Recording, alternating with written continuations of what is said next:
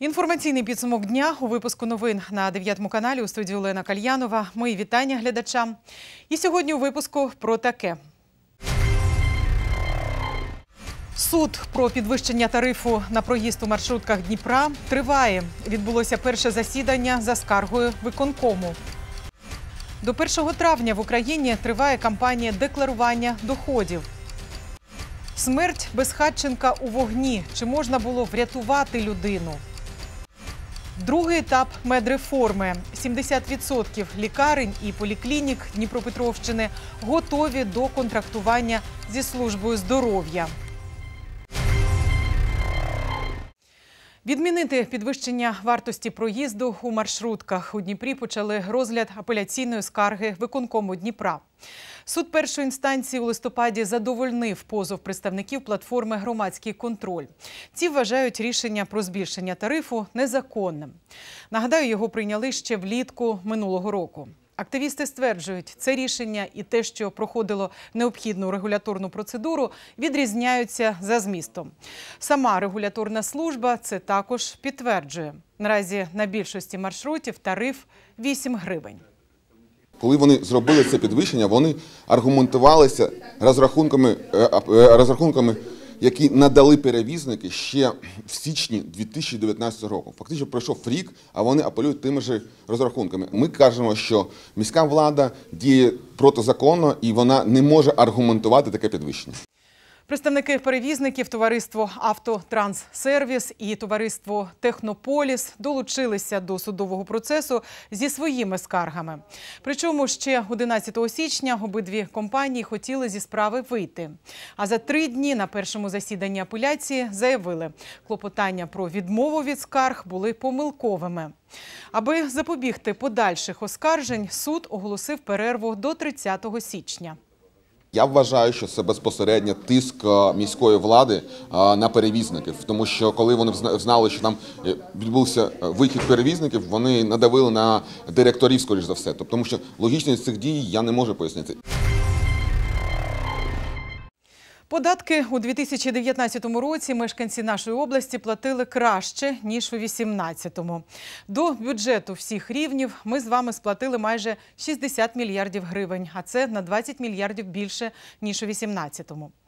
До державного бюджету область сплатила 35 мільярдів, до бюджету місцевого понад 25. Особлива увага до екологічного податку. Його мають сплачувати ті підприємства, чия робота шкодить навколишньому середовищу. Це викиди в атмосферу чи будь-яке інше забруднення довкілля. Дніпропетровська область цьогоріч сплатила 843 мільйони гривень екологічного податку. Ці гроші лишаються в регіоні. Ганна Чуб, виконуючи обов'язки начальника головного управління податкової в області, пояснює це тим, що наш регіон промисловий, має велику кількість підприємств і платили за минулий рік сумлінніше. На 2020 рік податківці вже запланували 361 податкову перевірку. Список планових перевірок є на сайті управління. Щоб перевіряти, не прийшли вас чи ваше підприємство, фахівці нагадують, із січня до 1 травня можна подати власні звіти і сплатити усі необхідні податки. Податкова культура сплати вона збільшується. І платники е, з кожним роком становляться більш такі поважні до сплати, бо, мабуть, починають розуміти те, що е, податки це формування бюджету усіх рівнів, як країни, так і е, нашого регіону. Місцеві бюджети і області насамперед формуються податком на доходи з фізичних осіб, податком на землю податком на нерухоме майно, транспортним податком, єдиним податком. Так, у минулому році платниками спрямовано до місцевих бюджетів області податок е, з доходів фізичних осіб е, на суму майже 15 мільярдів гривень. Плата за землю майже 4 мільярда гривень. Єдиний податок 3 мільярда гривень. Податок на нерухоме майно 400 мільйонів. Дніпропетровщина завершує підготовку до другого етапу медичної реформи. 70% закладів спеціалізованої та високоспеціалізованої допомоги наразі готові до контрактування із Національною службою здоров'я. Воно розпочнеться із 1 лютого, і вже з квітня пацієнти у тих закладах зможуть безоплатно отримувати перелік послуг, гарантованих державою.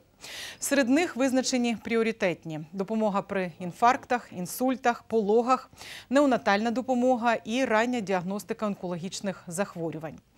Ланка первинної медичної допомоги вже повністю підключена до Національної служби здоров'я. Це сімейні лікарі, терапевти і педіатри.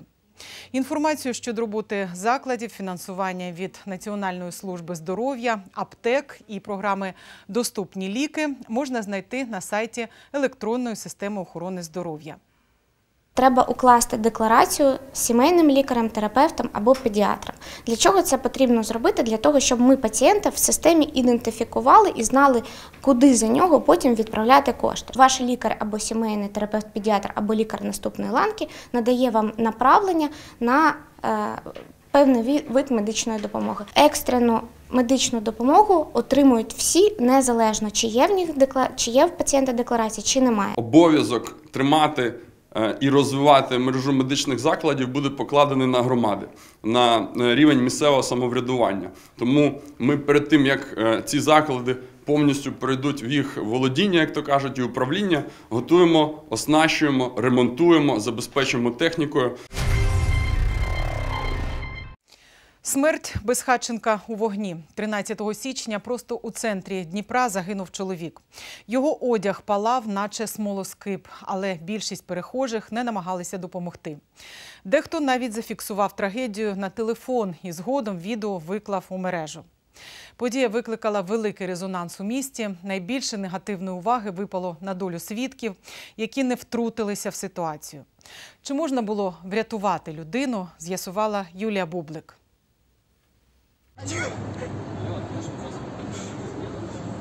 Це відео на телефон зняли перехожі. На ньому видно, як палає одяг безхатченка. Більшість випадкових свідків не спробували допомогти постраждалому, лише фільмували. Чоловік помер від значних опіків. Вогонь уразив 90% тіла. Згодом з'ясувалося, у смерті винний 27-річний приятель безхатька. Він облив одяг товариша настоянкою глоду і кілька разів намагався підпалити. Нині чоловіка затримали. Висувають підозру про навмисне вбивство. Про скоєне він нічого не пам'ятає. Був геть п'яним. За что вас задержали полицейские? Э, За то, что я э, спалил человека. А Вы это сделали? Да. А как все произошло, скажите? Я толком не помню, потому что я пьяный был. Зловмиснику загрожує до 15 років за ґратами. Підпал зафіксувала камера відеоспостереження, розташована поблизу. Зараз ми відпрацьовуємо саме це відео з камер спостереження для того, щоб встановити свідків та очевидців вказаної події. За статтею 136 Кримінального кодексу України бездіяльність перехожих, яка спричинила смерть потерпілого, також карається. Групі цих людей загрожує обмеження або позбавлення волі строком до 5 років. Психологиня Ольга Руденко розповідає, є декілька причин, через які люди можуть ігнорувати трагедію, що розгортається на їхніх очах. Людина ну зазвичай реагує, але вона йде в натовпі, бачить, що ніхто не реагує. Вона думає, ага, зараз ну відреагує хтось інший. І коли немає е, прямого заклику е, і прохання допоможіть, то люди можуть ігнорувати. Крім того, ставлення до безхатченків у суспільстві здебільшого негативне. Тут, каже Ольга, вмикається несвідомий страх. Якщо ти заговориш або торкнешся безхатька, на тебе перейде щось погане. Якщо би ми е, 20 чи 30 років тому стикнулися з такою ситуацією, то, е, ну, наприклад, якщо б людина е, вирішила допомогти Безхатченкові, то е, міліція могла затримувати і цю людину, тому що ну, Безхатченки це взагалі був нонсенс для Радянського Союзу. І ще одна причина – не всі знають, як діяти в таких ситуаціях. Ковтнувши гарячого повітря, людина отримує опік не лише шкіри, а й дихальних шляхів. Зовнішні опіки теж небезпечні. Якщо горить, е, палає одежа і вона пропікає тканини, то опік буде глибокий. А глибокий опік понад 10% вже небезпечний Тим, що розвивається ураження всіх органів, і така рана, мало того, що не загоїться, вона ще призводить до інтоксикації організму Опікова хвороба і больовий шок у таких ситуаціях найбільш розповсюджені причини смерті. Щоб урятувати потерпілого, лікарі не радять збивати полум'я руками. Знімати одяг, що припікся до тіла, також не можна. Взяти одежу, взяти якусь хустинку і закрити доступ кисню, полум'я загасне саме. І дуже-дуже важлива холодна вода. Якщо тканина вже перегріта 60 плюс градусів за Цельсієм, навіть якщо ми загасили, ураження заглибляється. Можна е, холодну хустинку з холодною водою або покласти лід і охолодити. Але пам'ятайте, головна допомога – це терміновий виклик швидкої. Лікар Сергій Слісаренко наголошує, сучасні фахівці рятують потерпілих, що мають ураження 96% тіла. Хто знає, можливо, і життя цього чоловіка вдалося б зберегти.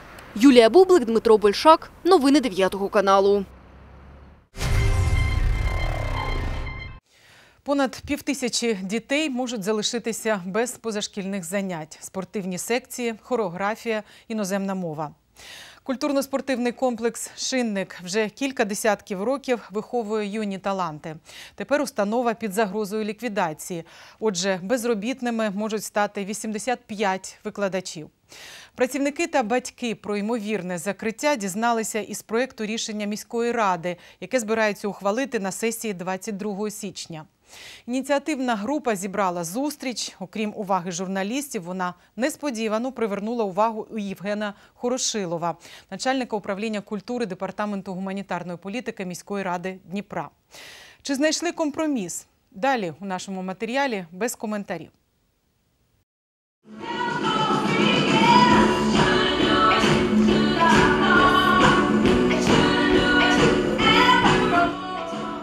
Конкретно написано ликвидация. Поэтому мы ждем нашей ликвидации, что нас не очень э, не, не то, что не радует, а даже пугает. Наше опасение, что просто передадут наш дворец культуры в частные руки. В дальнейшем э, все дети окажутся на улице. И наша работа, наши творческие коллективы будут закрыты. ребенок 6 дней в неделю находится здесь, то есть от двух часов до трех. Вокал, танцы, английский, французский, география, э, IQ, ку- э, IQ курсы, э, игровые клубы. величезний тягар повішено на місцевий бюджет, який треба якось вирішувати. Цей тягар треба нести. Тому, як сказав міський голова, необхідна певна оптимізація. Де, де подальші дії з вами, з вашими уповноваженими особами будуть узгоджені. Інвестування е, міського бюджету в КЗКСК «Шинник» – це порядка 8 мільйонів гривень. Ми е, заробляємо десь 2 мільйона 200 тисяч гривень. Якщо е, про- провести модернізацію КЗКСК «Шинник», ну я не кажу, що ми будемо там рости гроші лопатою Думаю, це буде економія, прежде всього, на енергонасурсах, тобто е, міський бюджет буде менше тратити кошти на е, енергоносії. Альтернатива есть в нашем городе, но это на левом берегу бывший проспект Кассиора, ДК «Металлург». Это два идентичных ДК с такими же сценами, с такими же вместимостями залов. Это единственная альтернатива. Мы очень переживаем, чтобы здесь на месте этого ДК как бы не стал какой-то торговый центр. Вот это нас как бы волнует. Я прохаю вас е, працювати і до е, питання щодо е, е, ну, можливих змін в вашій роботі, от воно буде з вами опрацьовано в спокійному руслі з вашими всіми представниками, кого ви забажаєте. От воно буде опрацьовано. І буде опрацьовано на користь роботи колективів, на користь культурної складової цього закладу та спортивної. Зараз вся громадськість до нас приєдналася, тому що не тільки ми не, бажаємо цього цієї ліквідації. Я сподіваюся, всі батьки, мешканці, мабуть, не району, а всього міста цього не хочуть. 14 січня багато вірян відзначають новий рік за юліанським календарем. Це одне з найбільш визначних свят богослужебного року. В цей день православні не забувають і свого духовного наставника, тож вони завітали до каплиці отця Рафаїла, аби віддати йому шану.